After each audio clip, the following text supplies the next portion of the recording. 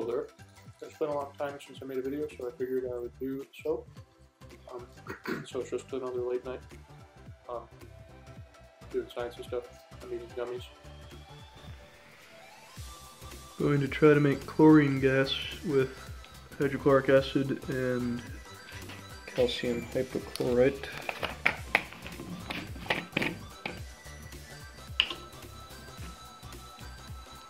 That's what that looks like. It's um, pool chemical for chlorinating pools in the solid form. Usually you just use muriatic acid, which is that, or something else. But uh, that's a white chalky material. I'm expecting upon mixing them, I'll get chlorine gas, and I'm going to try to capture the gas using something like this. It was a decomposing hydrogen peroxide to get oxygen gas in this case. That's actually what's bubbling out. Um, and I've collected a lot of it in these bottles. But I'm going to try to get chlorine now. It should be easier to tell that I've got because it's actually a nice yellow color. Uh, it's heavier than air though, so I don't know how it's going to work out. It should be interesting. So, out of this reaction, I should get uh, chlorine gas and water and calcium chloride, salt, um, which I'll probably recover because that's a really good dehydrating agent to make stuff dry. Um, but I am really more interested in chlorine gas and maybe even liquefying it if I can get it cold enough. It'd be really cool to look at. It'd be like green or yellow liquid. Um, but I'm wearing this because calcium hypochlorite smells pretty terrible, um, and also just for general safety reasons. Also, I'm going to be wearing gloves, so uh, don't try this at home. Just watch it have fun.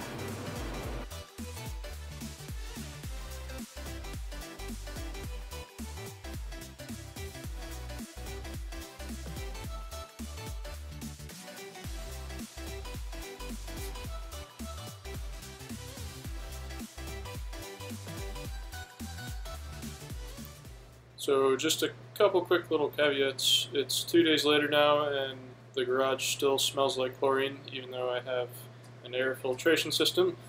So that's kind of uh, stinky, but um, it's doing better now.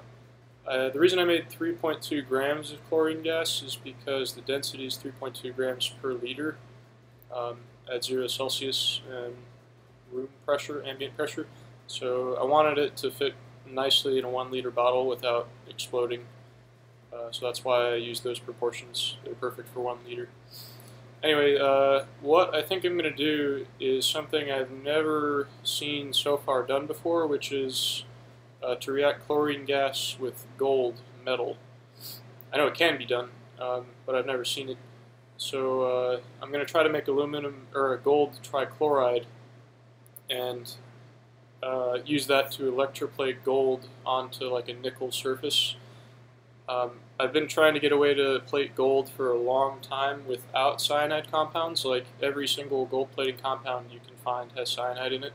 And it's not really a big deal um, if you just buy the compound and you're careful with it, but if you try to make it, um, you shouldn't try to make it because it's really dangerous. So um, that's what's next. Should be really fun. Uh, subscribe and like if you would like to see more because that would encourage me to keep doing this. And uh, I'll see you when I try to make gold chloride.